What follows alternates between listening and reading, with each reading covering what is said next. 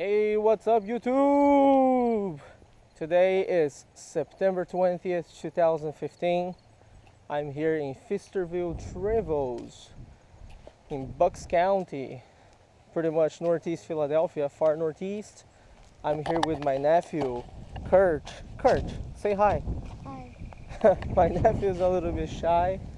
But, anyways, we're gonna go do some fishing today in our local runoff.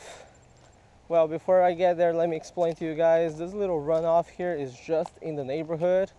It does not even have a name. As a matter of fact, this runoff doesn't even show on Google Maps. okay? So, anyways, we're gonna start walking there now. Uh, my nephew, Kurt, he loves to play video games at home and stuff like that. So, this is gonna be a good experience for him because he pretty much never fishes. Okay? So, I'm gonna hand my rod to him today. We're gonna do some fishing together. Hopefully, he will be able to catch some fish. You know, so we're gonna have some joy outdoors, something like that. I mean, don't take me wrong, folks nothing wrongs with kids staying at home and playing video game and stuff like that you know moderation is key right but it's also nice especially if you have kids to take them outdoors show them what Mother Nature is all about right? And the joys of the sport. So all right let's do this. I'll keep you guys updated. I'll come back when i get there. All right folks we're finally getting here right by lake drive in Feasterville Trevose. As you guys can see, just like I've mentioned previously, this is a little runoff right by the neighborhood where my sister lives at, okay? So here, I'll give you guys a very brief view of this place. That side over there is where the runoff comes from. It drops right over here next to this residential property. And by the way, we are not going to be fishing in the property, right? We're going to be fishing on the side of the property and this is the little runoff all right and i don't know if you guys can see it or not you can actually see some fish swimming in it okay mainly creek chubs so what we're going to do today is something called micro fishing okay and micro fishing is a style of fishing that is fundamental for every multi-species angler it is fundamental for every multi-species angler in a sense that there are species in the United States of America that are micro fishes. In other words, they don't grow bigger than six inches, okay? So yesterday I was passing here with my nephew. Oh, you know what, Kurt? Why don't you tell them how did we find out about this place? Um, while we were walking, we saw you. Okay, we were walking around where we were going to. We were going to McDonald's and GameStop. We were going to McDonald's and GameStop, right? And ju- we just stopped here and what did we find? Little fish. Little fish, right? Did you see the fishes swimming in the water? Yeah, so you see folks, we found this place completely by accident. And that is the one of the wonderful things about being an urban angler in Philadelphia, okay? And what is it so wonderful about that it lies in the fact that you are never afraid of coming to places like this and casting your line in the water. So here's the tip from my nephew too. Be adventurous. If you find little places like this and you see little fish in it and you are a multi-species angler, never, never be afraid of dropping a line in the water. All right, so now we're gonna get our stuff set up here. This place looks is very, very small, and it is very, very small. But you guys would not believe how much of a challenge this place is to catch a species, different species. Okay, and that's because it is very hard to get the bait in front of that specific species of fish that you are looking for when you have schools of fish around. Well, anyways, you guys will see what I'm going to talk about, what I'm talking about here. Hopefully, we'll be able to show you guys some fish. How many different types of fish you think we're going to catch today, Kurt? How many different types of fish do you think we will be able? I'm sorry? Two or one. Two or one? My God, my nephew's pessimistic. Okay, let's see. Maybe two, maybe one. Hopefully, we'll have some fish to show you guys. All right, let's get started. Oh, recording, right? I'm recording now. All right, folks, before anything else, I'm gonna get my rod set up here with my nephew. So since he's not used to do things to doing things like this, I'm gonna show him how to get started, okay? So bear with me. Patience is a virtue. So what do we do with the reel, Kurt? Put it somewhere here. Yeah, that's right. See, you put it right over here, right? And you see you twist this until all the way up, okay? And then your reel, see, your reel is not moving now. It is straight, okay? Now we get the line, okay? Here, I need your help now. Put the line over the guides. Yeah, that's Yeah. right. Yeah, you have to pass the guides. Look, look. Give it to me here. Look. You can pull it, that's fine. But you have to pass the guides. Wait, wait, wait, wait, wait. All right, don't be impatient. Like I said, you have to pass the guides. Look, in the middle. Okay? Mm. Go ahead. Pass through the guides. Hold the rod nicely. Yep. Pass it through the guides. That's right. You got one. Yeah, pull the line. That's fine. Pull a little bit extra. It's his first time doing this stuff, actually, you know, so I'm not surprised that he's a little bit slow. When you bring kids out to, to fish, actually, it's always good for them to have hands-on experience. So whatever they, they're able to do, you know, it would be best for them to do it. So, all right, don't miss it. Don't miss it. Take your time. We'll be back when the setup's ready. All right, we are finally done with the setup. You want to show our viewers what we're going to be using for today for bait? What are we going to be using? Bread. What what kind of bread is that? Um, potato. That's right. We're gonna be using potato bread on pretty much a size. What is this? A size eight hook. All right. So let's do this. I'm gonna get one small piece of this potato bread. All right, just small enough so that this thing actually stays on the hook. And we'll try to catch some fish with it. There we go. Okay. I'll hook it very basic like this. All right, it's your turn now. I'm gonna put a little bit of line down. You don't really need to cast. Just try to place the line in the water where the fish is at. Now look how Uncle does it, okay? If you want to release line from the rod, you open this thing here called the bail. And when you open the bail, the line goes down. You see that? You close the bail, the line gets straight. Now look, instead of just putting down, you swing it. You see? You see this swinging motion right here? You swing it in the water. See? Just like that.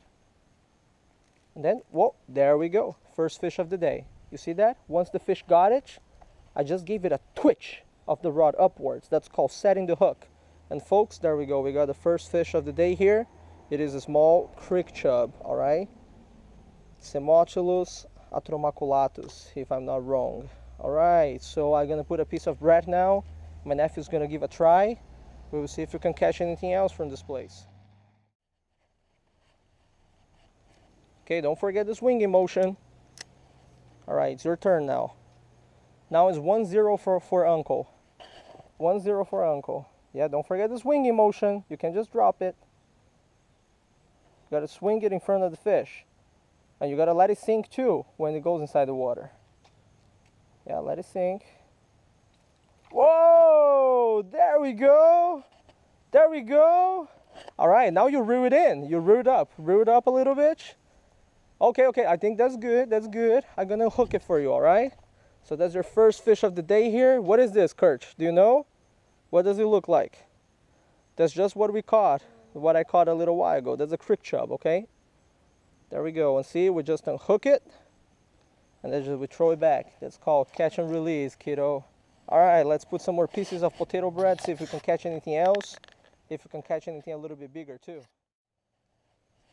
Don't forget to swing it.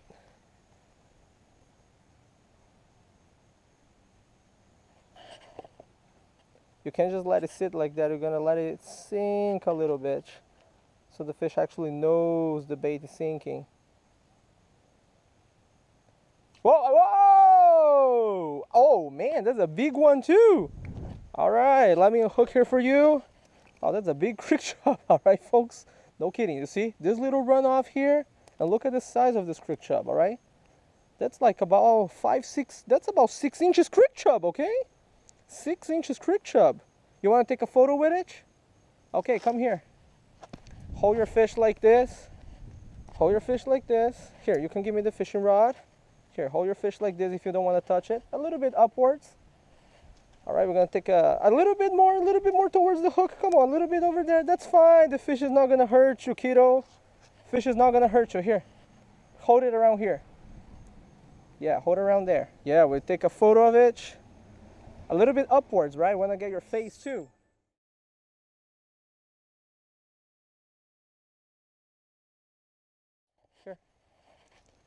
Try to catch another big one.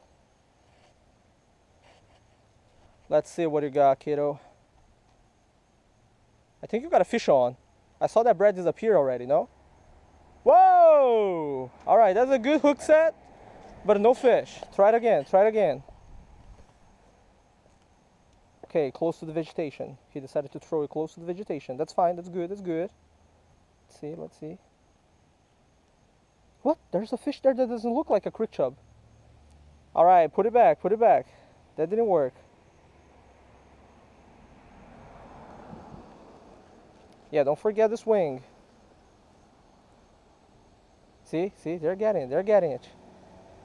Whoa! All right!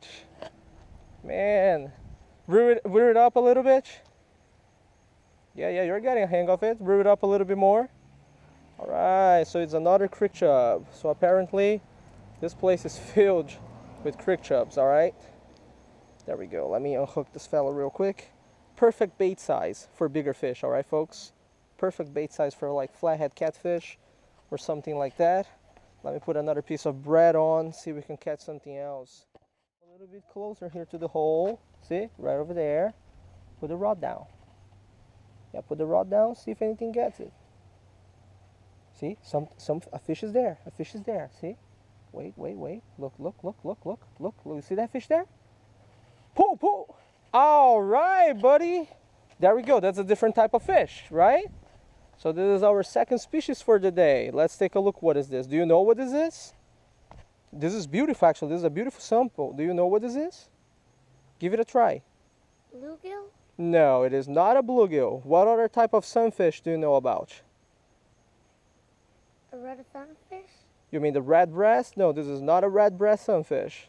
What else do we get other than bluegill and red breast?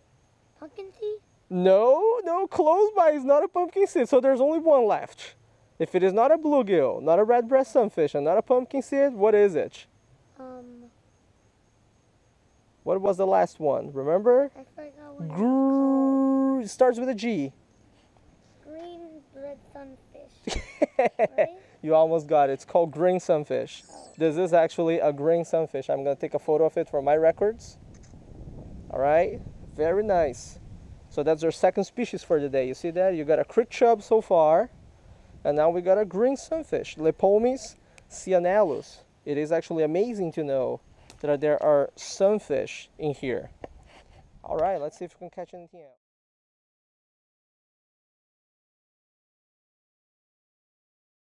Try again. I, I think the hole worked really well. Why don't you try putting in the hole again? Yeah, but you have to let it sink. Remember? Be careful. Be careful with the. Be careful with the wood. Be careful with the wood. See, you almost got the wood, and your line isn't enough. You open the bail, and let more line go out. Yeah, just like that. Look, and then you cast inside the hole. Don't don't don't don't ca- don't get the vegetation there. See, you got you got the grass. Excuse me. You got the grass. You gotta be careful with this kind of stuff. See that? Down he goes. Don't forget inside the hole, but be careful. Don't get the don't get the green stuff. Yeah, let it go down. Let it go down. Let it sink. Whoa! All right, all right. I think you got a fish on. No? All right. Put it back in. Put it back in. Yeah, let it sink. You're gonna let it sink, so they think it's warm. Whoa! All right, man. You got it. You got it. Whoa! Be careful. Reel, reel it up. Reel it up. Don't forget. You got a reel, right? You got a reel. You reel the fish up. See, it's another beautiful sample of green sunfish. You want to take a photo with it? Yeah, why not, right?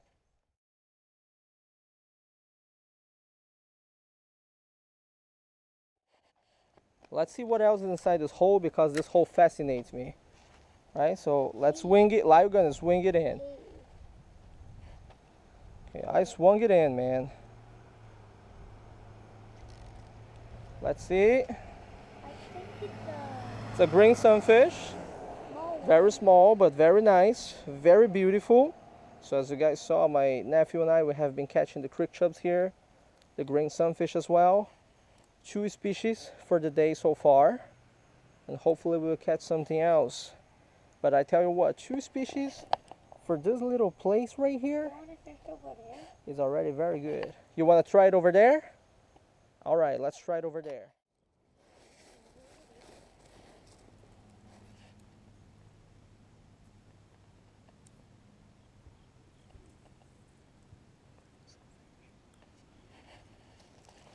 Okay, let's see if there's anything bigger here.